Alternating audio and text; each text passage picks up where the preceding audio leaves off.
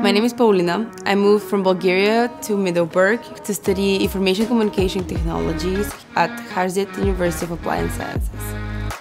Being a female in an ICT study is not at all out of the ordinary here.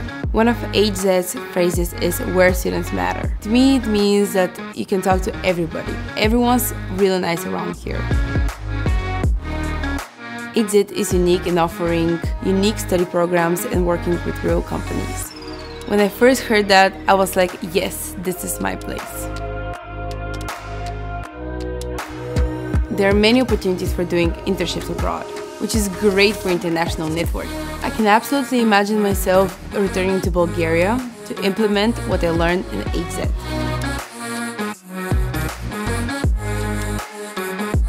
It's your future.